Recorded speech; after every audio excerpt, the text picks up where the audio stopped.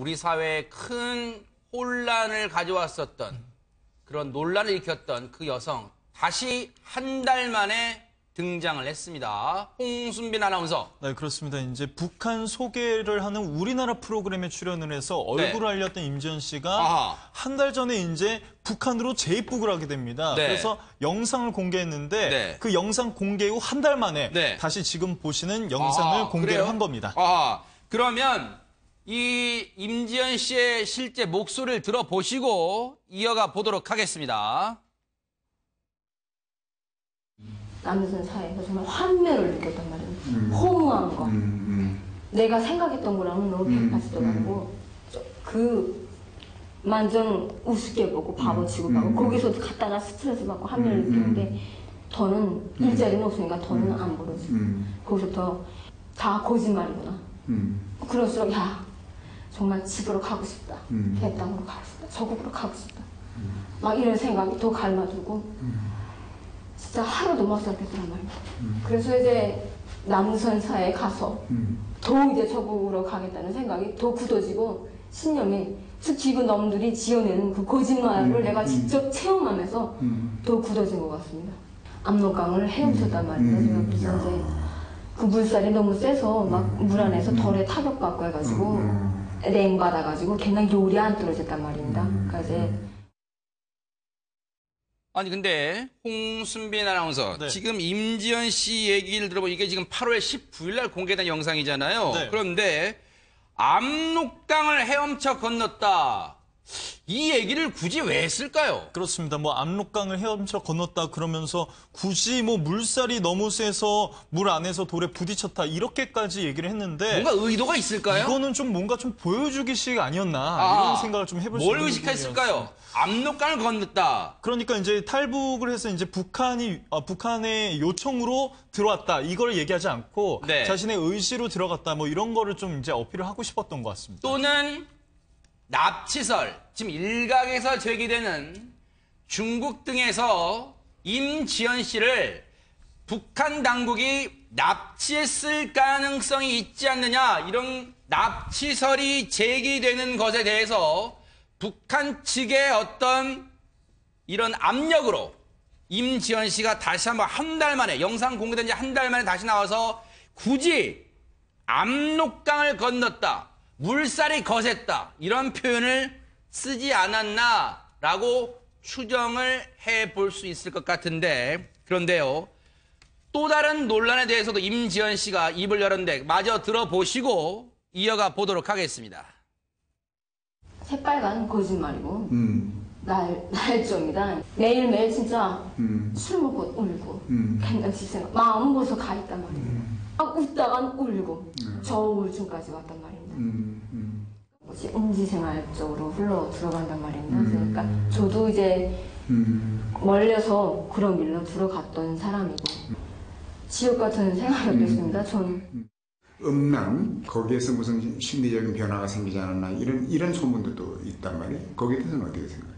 아, 거기에 대해서는 솔직히 말씀드리겠습니다. 네, 이제 네. 제가 이제 아는 동무가 있는데 음, 음란이 아니고 음. 그런 이런 성인 방송물은 음. 그런 건데 춤추는 거란 말입니다. 그래서 음. 좀 음. 짧은 옷은 입고 춤을 춥니다. 음. 그리고 좀, 좀 그런 야시시한 음. 어떤 음. 음. 춤추고 그러니까 간해지가 놀래 갔다가 음, 이제 한번 잠깐 이제 음, 재미나니까 얼굴 이렇게 하고 뭐하니? 하고 음. 이렇게 봤던 적은 있습니다. 어, 어, 근데 이제 한번 춤춰보라 해가지고 또 장난삼아 기대는 것밖에 음. 없는데 이제 너무들이 그자들 이제 그걸 이제 완전 날조해가지고 음. 정말 모든 걸 좋아하는 데다 덤탱이 씌우는 막 음. 그런 식으로 나온단 말입니다. 지금 홍순빈 아나운서, 지금 임지연 씨의 이 얘기는 그동안 있었던 어떤 그 약간 음란 영상에 나오는 사람이 임지연 씨 맞느냐 이 논란에 대한 해명인가요? 어떻습니까? 그렇습니다. 이제 음란 영상에 나와서 임지연 씨와 비슷한 인물이다. 네. 아니면 임지연 씨다. 이런 거에 대해서 이제 논란이 있었는데 네. 이제 뭐 북한에 간 마당에 굳이 네. 뭐 어, 자신이 뭐 그 사람이 아니다, 뭐 맞다 이거 얘기할 필요도 없이 당시에 그런 힘들었던 상황을 그냥 어, 설명하고 있는 모습을 보셨던 겁니다. 지금 보면요, 어, 이수정 교수님, 이 보면은 음지 생활로 흘러 들어간다. 임지연 씨 말 중에 음지 생활로 흘러 들어간단 말입니다. 저도 몰려서 그런 길로 들어갔던 사람이고 지옥 같은 생활했다. 음지 생활.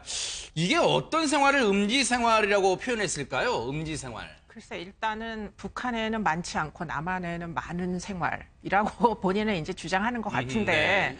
결국에는 어디에서 어, 있던지 간에 그 네. 공간이 어디든지 간에 결국은 본인의 의사결정에 의해서 이런 선택은 이루어지는 것이기 때문에 네. 이게 무슨 어, 음지 생활이라는 게 딱히 남한에서 본인을 뭐 유인을 하거나 이렇게 얘기하기는 상당히 어렵고요. 네. 지금 질문에 네. 질문자가 음란 영상과 연관된 질문을 했을 네. 시에 본인이 굉장히 어색한 웃음을 웃으면서 네.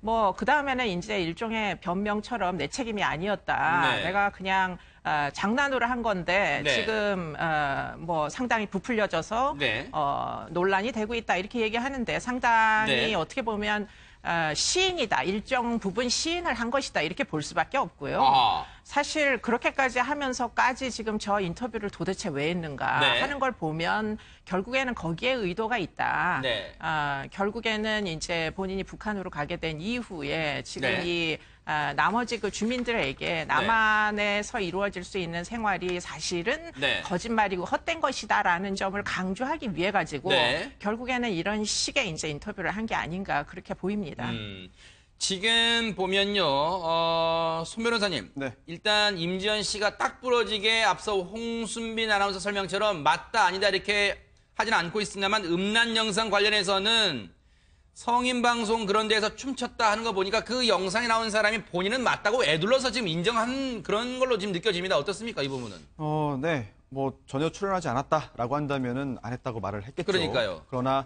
아, 또 인정하고 싶지 않았을 겁니다. 네. 그런데도 공식적으로 언급을 했다는 얘기는 네. 일단은 어떤 내용이든 어떤 형식으로든 네. 또는 분량이든 뭐 시기든 관계없이 일단 아, 성인 방송으로 불릴 수 있는 방송에 출연한 것은 사실인 것 같습니다. 네. 그리고 또 하나 어, 실제로 하지 않은 거를 더 많이 부풀려서 말하진 않거든요. 이런 네. 경우 이런 주제에 대해서는 오히려 실제로 행동했던 것보다 좁혀서 줄여서 말하는 경우가 더 많습니다. 거의 대부분 네. 그렇습니다. 그렇다면 어, 일단 출연 사실을 시인했다는 것은 네. 이 음란 방송 등에 출연했던 것이 어, 이제 한국을 떠나서 북한으로 가게 된 것에 어느 정도 영향을 미쳤다라고 아. 하는 것을 오히려 스스로 인정해 준 것이 아닌가 생각합니다. 네. 자, 그런데 지금 어, 경찰은요. 지금 이 임지연 씨의 재입국 관련해서 지금 경찰이 경찰과 공안 당국이 지금 수사를 하고 있습니다만 경찰은 임지연 씨가 자진 재입국했다고 판단해서 사법 처리할 계획이다 이렇게 하고 있습니다. 이수영 교수님. 네, 뭐 본인이 스스로 이제 진술을 하지 않았습니까? 네. 압록강을 건너서 네. 헤엄을 쳐서 건너면서 돌에도 부딪히고 굉장히 어려움을 겪으면서도 자진 입국했다 네. 이렇게 이제 시인을 했으니까 네. 결국에는 그 부분에 대해서 이제 아, 뭐 송치를 해서 기소를 할 예정으로 보이고요. 네, 혐의는 뭐 국가보안법 위반 혐의라면서요. 네. 네, 지금 시효가 10년이나 되기 때문에 네. 만일 다시 탈북하여 어, 뭐 한국으로 이제 들어오는 경우에는 아하. 사실은 어, 적어도 뭐 10년 이하의 징역, 네. 심한 경우에는 5년 이상의 징역을 받을 수도 있을 것으로 아, 보입니다. 네. 근데 손 변호사님, 지금 경찰이 국가보안법을 적용한 근거는 뭡니까? 이제 임지연 씨가 어떤 거를 주- 어, 구체적으로 위반했다는 거예요? 일단 그 형법에는 간첩죄가 있습니다. 네. 그런데 간첩죄를 범했다고 볼 증거가 없기 때문에 적용하지 네. 않았고요. 하지만 간첩이 아니라고 하더라도 국가보안법에 처벌할 수 있는 규정이 있는데요. 네. 아, 이제 그 유명한 조항이죠. 6조에 있는 잠입 탈출입니다. 네. 아, 그래서 음, 모든 경우에 잠입 탈출이 다 처벌되는 건 아니고요. 네. 국가의 존립, 대한민국의 존립이나 안전 또는 자유민주적 기본 질서 위태롭게 한다는 거를 알면서 네. 반국가 단체의 지배하에 있는 지역, 보통 북한입니다. 네. 북한으로부터 우리나라로 들어오거나 잠입하거나 네. 몰래 들어오거나 아니면 우리나라에서 북한 지역으로 탈출한 자를 네. 어, 처벌할 수 있는데 아. 이게 형이 기본적으로 법정이 10년 이하의 징역입니다. 아. 그리고 그뿐만이 아니고요. 네. 어, 가중 요소가 있는데 반국가 단체, 즉 북한 정권, 정부의 지령을 받거나 네. 또는 지령 관련된 목적 수행을 협의하기 위해서 잠입하거나 탈출했을 경우에는 형량이 더 올라가서 네. 사형 무기징역 또는 5년 이상의 징역에 처할 수 있는데 네. 지금 일단 경찰은 이런 어, 북한으로 탈출했다. 네. 라고 보고 있는 것 같은데요. 네. 어, 하지만 현실적으로 과연 신병 확보가 가능한지 아하. 또는 형사적인 처벌이 가능한지 네. 이 부분은 또 별개의 문제가 되겠습니다. 그런데 시청자 여러분, 여러분은 그 경찰이 임지연 씨에 대해서 국가보안법 위반 혐의로 어, 사법 처리할 계획이라는 것을 혹시 언제 들어본 적이 있으신가요? 그런데 저희들도 이 생소하게 들어본 처음 접해본 이 내용을 임지연이라는 사람은 임지연 씨는 마치 미리 알고 있었던 듯 얘기를 합니다. 그 얘기 들어보시고 이어가 보도록 하겠습니다. 그 납치설이 많이 이렇게 돌았는데, 새빨간 거짓말이고 음, 날 날조입니다. 그러니까 이제 그렇게 말할 수밖에 없는 게 남자 선것들이 이제 쟤는 저 자기들 따르면은 저를 이제 성공한 여자다 정말 이제 부풀려서 포장해 놓지 않았습니까? 음, 그 거짓말과 날조극으로 해서 솔직히 저도 땡못해가지고 그런 거짓말을 외웠던 사람으로서 근데 이제 그 날조와 거짓말들이 협잡지 많잖아요. 그게 드러나게 됐으니까 그거에 대한 타락이라고 생각합니다. 알겠습니다. 지금 검찰에서 예. 10년 그 국가보안법에 저촉된다 해가지고 지금 그런 어, 이야기들이 좀 돌고 있는데 거기에 대해서는 어떻게 생각하세요? 솔직히 생각해 보지 않았습니다. 음. 이렇게 그걸 듣긴 했는데 뭐 거기가 뭐 내 소국도 아니고 음. 그리고 무슨 뭐 10년이 뭐 어떻고 1000년이 뭐 어떻고 100년이 뭐 어떻겠습니까? 다시 쳐다볼 것도 아니고 갈 것도 음. 아닌데 예, 솔직히 저는 이제 총을 받을 줄 알았습니다. 음, 내가 좀- 죄를 졌으니까 저국에 가서 죄값을 받아야지 하면서도 어, 죄값을 판다는 게 솔직히 저도 무섭지 않습니까? 음. 근데 이제 정말 생각 뜻밖에도 음, 정말 진짜 욕한번 안 하고 음, 그런 죄를 묻는다는 것도 없이 음, 그냥 고 수고했다고 고생했다고 음, 네 그만 그렇게 말하면서 정말 생각지도 못했던 사랑과 배려를 저한테 베풀어 줬습니다. 진짜. 음, 거짓말 아니네 욕 한 번 큰 소리 한 번안 음. 쳤습니다. 그냥 고생했다. 그거 재밌네요. 북한 당국의 질문이 재밌습니다. 지금 남한에서 우리 대한민국에 제기되는 게 북한이 납치했다. 납치설이 제기되는데 북한 당국이 자기들 앞에서 물어봅니다. 앉혀놓고. 우리가 당신을 납치했습니까? 안 했습니까? 지금 그렇게 물어보는 꼴이잖아요. 그럼 그 앞에서 임지연 씨가 당신들이 날 납치했잖아 하겠어요? 납치설에 대해서? 뭐이 질문 같은 걸 물어봐야죠. 그런데 임지연 씨가 지금 자진 납북, 자진 입북인지, 자진 입북인지 납치인지 지금 설이 분분한데 그렇다면 과연 이 북한에서 이 오신 분들, 탈북자들은 과연 어떻게 보고 있는지 저희들이 한번 의견을 들어봤습니다. 한번 들어보시죠. 같이 한번.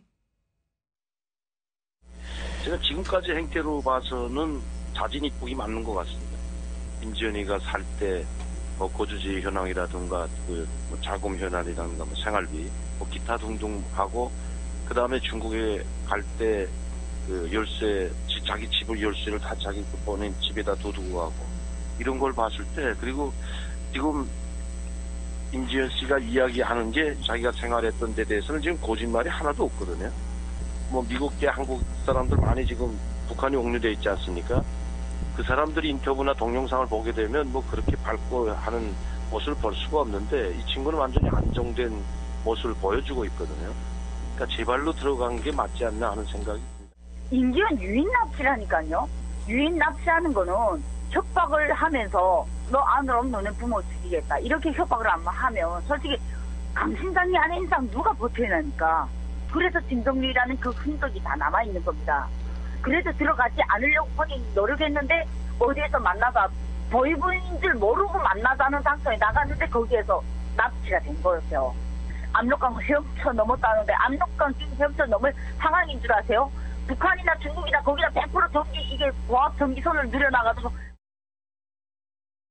지금 이제 강명도 교수와 이 김정아 전 북한군 중위 두 분의 얘기를 잇따라 들었는데 일단은 이 두 분도 두 분의 얘기도 극명하게 엇갈려요. 강명도 교수는 얼굴 이 분위기를 봐라. 지금 편안하게 웃고 얘기하지 않냐. 자진 입북이다. 지금 오른쪽은 한 달 전의 영상이고 왼쪽이 이제 최근 엊그제 영상입니다. 그런데 북한군 중위 김정아 전 중위는 눕 유인 납치가 맞다 이런 얘기를 하고 있는데 최명기 원장님 보실 때는 어느 쪽이 좀 더 무게가 실리세요? 일단은 그 양쪽 얼굴이 완전히 극명하게 갈리지요. 네. 근데 보다가 든 생각은 본인도 이제 조울증에 걸렸다고 본인이 얘기했으니까요. 임재현 씨가 오른쪽은 우울증에 걸린 사람의 얼굴이고요. 네. 왼쪽은 이제 조증으로 가게 되는 사람의 이제 얼굴일 수 있습니다. 음, 네. 그렇기 때문에 어떤 게 있냐면 조증이 되게 되면은 되게 하고 싶은 것도 많고요. 행동도 많아지고요. 돈도 많이 쓰고 규칙을 자꾸 어기게 됩니다. 그러니까 조증으로 가게 되면은 북한이 살기가 점점 힘든 나라가 되는 거예요. 네. 그, 그럴 때는 대한민국에 오게 되면 대한민국이 살기가 좋은 나라가 되는 거고요. 네. 반대로 이제 우울증에 걸리게 되면은 아무것도 하고 싶은 게 없고 의욕도 없고 네. 그러다가 보니까 자기가 살아온 곳에 대한 어떤 향수가 있게 됩니다. 네. 그러면은 또 거기가 또 나름대로 가고 싶은 곳으로 되게 되는 거예요. 네. 그런 어떤 조울증의 경과를 갖다 봤을 때는 어, 자진 입국의 가능성이 비중을 갖다 좀 더 줄 수 있는데 네. 그러나 자진 입국을 하더라도 또 마지막에 이제 임지연 씨의 사정은 상당히 경제적으로도 몰려 있었고요. 네. 여기에서 어떤 음란국어와 관계해서 소문도 있었고 네. 사실 우리나라에서 살기가 굉장히 어려운 상황에 있었거든요. 네. 그렇다고 했을 때 북한에 들어가긴 들어갔지만 저는 상당 부분은 네. 어떤 약속이 있었다고 생각은 합니다. 음. 그런 점에서는 유인이 있었다는 건 맞는 것 같아요. 아마 네. 북한에 들어오게 되면은 네가 원하는 대로 이렇게 방송도 나가고 네. 재미있게 해주고 이렇게 하겠다는 의미의 어떤 유인이 있었다고 생각이 됩니다. 그렇기 네. 때문에 만약에 북한에 가고 싶지만 북한에도 넣으면 죽일 거야. 그러면 아마 들어가지는 않았을 겁니다. 음, 그런데요, 여러분은 혹시 그 영상, 한 달 전 영상과 엊그제 나온 영상을 보시면 어떤 게 좀 차이점이 느껴지세요? 일단 분위기가 달라집니다. 임지한 씨 얼굴, 이, 그러니까 뭐 메이크업이라 그럴까요? 메이크업도 달라지고, 그리고 그 인터뷰를 하는 장소, 배경도 상당히 밝아졌고요, 분위기가. 이수영 교수님. 뭔가 북한이 한 달 전에 영상을 보여준 이후에 남한에서 이 대한민국에서 뭔가 제기되는 그런 이 여러 가지 설설설을 의식했다고 볼 수밖에 없어요, 지금. 네, 뭐 상당히 홍보용 영상 같은 느낌을 지우기가 어렵고요. 그렇죠, 네. 지금 저 인터뷰 하시는 분의 이제 어떤 어, 뉘앙스, 네. 어, 억양 이런 것들을 봤을 때 지금 상당 부분 저것은 뭐 전 세계를 향한 일종의 홍보 영상이다. 아. 이렇게 이제 보입니다. 웃기도 해요, 지금. 네, 한 달 전하고 네. 달라요, 네. 네, 지금 이 그 인터뷰를 하시는 분이 지금 네. 재미 이제 여러 가지 북한 사업을 하시는 분으로 그렇게 알려지고 있거든요. 아하. 그렇기 때문에 이거는 꼭 대한민국을 향한 영상이라기보다 네. 전 세계에 제이북 씨 이렇게 영웅적인 대접을 받을 수도 있고. 어, 우리는 굉장히 인도적 어, 네. 대우를 하고 있다 이런 걸 이제 홍보하려는 영상으로 보이는데요. 네. 문제는 저런 이제 영상을 보여주면 보여줄수록 뭔가 아, 매우 부자연스럽다라는 음. 그러니까요. 생각을 지우기가 어렵고 오히려 그렇죠, 네. 오히려 저렇게 쉬지 않고 떠들 수 있다는 것 자체가 좀 이해가 잘 안 되는 부분들이 사실은 존재하고요. 네. 어, 그리고는 이제 뭐 아까 무슨 자발적으로 이제 네. 재입국한 거다 아니다 아하. 논란이 있었지만 네. 상당 부분 어, 남한 내에서 대한민국 사회에서 적응을 했던 사람이라고는 보여지지 않는 것이 음. 아. 지금 이 사람이 하는 얘기나 이런 것의 내용으로 봤을 때 이건 네. 완전히 에, 대한민국에서 부적응했던 부분을 인정하는 네. 인터뷰밖에는 되지 않아서 네. 지금 이 현재 살고 계시는 많은 이 아, 한국에 적응하신 이제 그 탈북자분들. 탈북자들이 많으시잖아요. 그렇죠. 굉장히 대비로 보인다. 아하, 네. 이분들이 적응을 하는 동안 이 사람은 굉장히 이제 음지 생활이다 뭐다 음, 유인에 네. 굉장히 취약했었고 그래서 결국에는 이 지경에 이른 게 아닌가를 이렇게 설명하는 네. 그런 일종의 우리에게는 해명용 교육 아. 비디오 같은 이런 느낌이 든다. 대체 왜 저렇게까지 하는가? 예. 그러면 홍순빈 아나운서. 네. 북한 측의 주장대로 지금 제가 영상을 보여주는 이유는 대한민국에서 제기되는 납치설을 극구 부인하기 위한 그런 홍보 목적도 있는 것 같은데 그렇다면 그래요. 북한 측의 얘기대로 임지연 씨의 자진 재입국이라면 그렇다면 그 이유를 한 여러 가지로 추정해 볼 수 있을 거 아니야. 한번 짚어보죠. 그러면. 그렇습니다. 그러니까 말 그대로 자직 입국했다고 가정을 하고 네. 여러 가지 이제 가능성을 생각해? 보니까 첫 번째는 남자친구와의 이별이라는 설이 있습니다. 그러니까 실제로 어, 이 남자친구와 헤어지기 전에 우리가 헤어지면 나는 북한으로 갈 거야. 아. 라면서 SNS에 이제 문자를 남겼다고 합니다. 그래요? 아하. 근데 실제로 어, 3월 말에 결별을 하고요. 네. 결별을 하고 나서 이제 나는 북한으로 돌아갈 거다. 잘 지내라. 네. 이런 문자를 남기고 실제로 이 아, 아이디를 카- 어, 탈퇴를 하고 SNS 탈퇴해버렸어요. 그렇습니다. 아. 그 후에 이제 남자친구가 보니까 실제로 이 여자친구가 북한에 가 있었던 거죠. 일단 그런 정황이 하나 있고요. 그렇다면 또 하나의 이유, 그 자진 재입북했을 가능성을 뒷- 뒷받침해주는 이유는 또 뭐가 있을까요? 그렇습니다. 또 임지현 씨가 평소 때 뭐 조울증이다 뭐 이런 네. 얘기를 했는데 그 원인 중 또 가장 큰 것 중 하나가 가족에 대한 아, 그리움이었던 그리움이다. 것 같습니다. 아하, 네. 실제로 이제 한 그 종편 방송에서 네. 북에 계신 어머니 가 그립다 이런 음, 표현을 많이 했습니다. 그래요? 특히 이제 아. 여성분들 또 결혼 생각하실 때 네. 이렇게 웨딩 드레스 입으면 이제 부모님도 생각나실 네. 만한데 그 프로그램에서 이제 웨딩 드레스를 입었는데 네. 이때 또 어머니가 좀 생각이 난다. 아. 뭐 이렇게 많이 얘기를 했던 것 같습니다. 그럼 또, 또 하나의, 그 뭐 가족 얘기, 뭐 그건 전혀 가능성이 없을, 없지는 않은데 또 하나의 이유 뭐 그런 거 있지 않을까요? 남한 생활은 어땠어요, 그러면? 어, 남한에서는 확실히 이제 굉장히 외롭고 부모님이 계속 그리웠다 이런 아. 네. 얘기를 참 많이 하고 있습니다. 그리고 네. 경제적으로도 너무 좋지 않았다 음, 이런 네. 얘기를 많이 하고 있었고요. 네. 그렇다면 이 세 가지 말고도 혹시라도 또 일각에서 제기되는 난파 간첩이 아닌가 그런 가능성도 제기가 되는데 결국은 임지연 씨가 저렇게 얘기를 하고 있는 한 자기가 자진해서 들어가, 들어갔다고 얘기를 하고 있는 한 계속해서 추측이 꼬리에 꼬리를 물 것 같습니다. 또 임지연 씨 관련 얘기가 또 나올지 북한이 내보낼지 한번 주목이 됩니다.